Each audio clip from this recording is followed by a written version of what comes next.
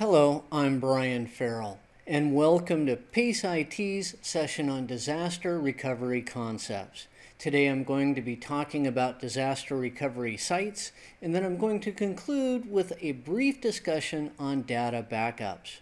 With that, let's go ahead and begin this session. Of course, I'm going to begin by discussing disaster recovery sites.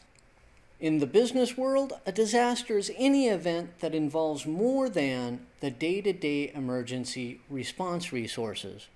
It is a fact of life that disasters will and do happen.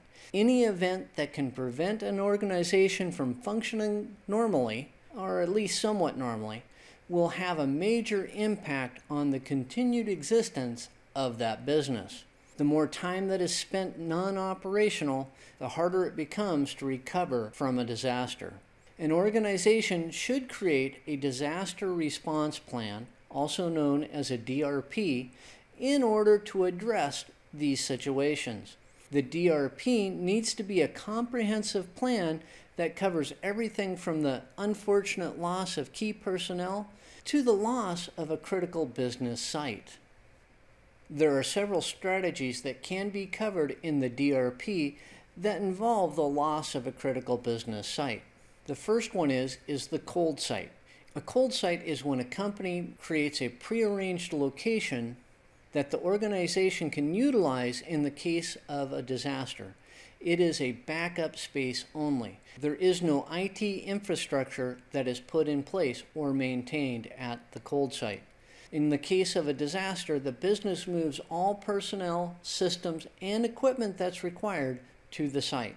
It is the least expensive backup site to maintain, but it's also the hardest type of backup site to bring up to speed. Then there is the warm site. It is a prearranged location that an organization can utilize in the case of a disaster. It usually contains a pre-set up office space and some critical IT infrastructure components, as in copies of key servers and networking equipment. In the case of a disaster, the business moves all personnel, systems, and other necessary equipment to the site, and usually only requires the addition of the latest backups to get the system back up and running but it is more expensive than a cold site and takes more time to bring up to speed than a hot site. So let's talk about the hot site. It's a prearranged location that an organization can utilize in the event of a disaster. It contains a duplicate of all equipment and systems necessary to perform all critical operations. In the case of a disaster, only personnel need to be moved to the site before operations can proceed. It allows for the quickest recovery of operations, but it's the most expensive of the backup sites to create and maintain. Backup sites can be further categorized. They could be a shared site or a time shared site. It's an alternative disaster recovery site where the cost of maintaining the facility is split with another organization. In this situation, if, if the disaster is widespread, the organizations may be required to share the use of the facility. Then there are the exclusive sites. It's an alternative disaster recovery site where the cost of maintaining the facility is borne by a single organization. In the case of a disaster, that organization will not be required to share the facility, but it is more expensive than a shared site. Now let's conclude with a discussion on data backups. Data plays an extremely important role in the life of organizations. They may live or die based on the data that they need to utilize. This importance on data requires that data be kept and maintained safely. Without it, most organizations will not be able to operate until it can be recreated. This means that data backup plans and procedures are a vital part of any DRP. Backups should be stored off-site in order to safeguard against a disaster. Backups also play a key role in recovering from unexpected consequences or from the failure of a component.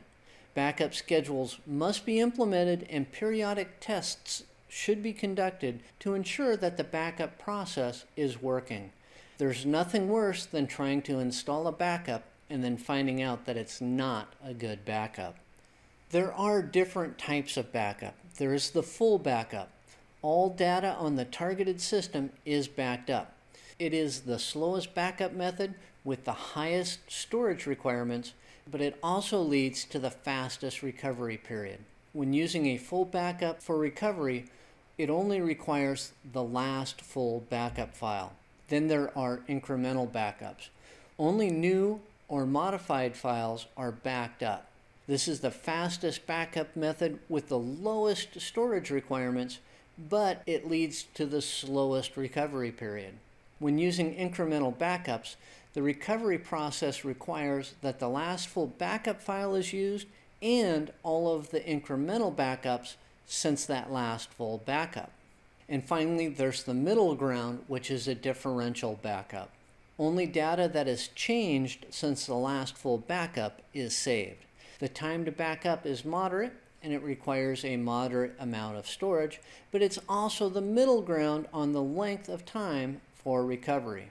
With the differential type backup process, the recovery requires that the last full backup file be used and the last differential backup file. That's why it's the middle ground between the other two. The configuration files of network devices should also be backed up. Once a network device has been configured and is operating as expected, a backup of the configuration files and operating system should be created. This helps to speed up the recovery time in the cases of equipment failure or when a change in the configuration has an unexpected consequence. Now that concludes this discussion on disaster recovery concepts. I began by talking about disaster recovery sites and then I concluded with a brief discussion on data backups. On behalf of PACE IT, thank you for watching this session and I hope to do another one soon.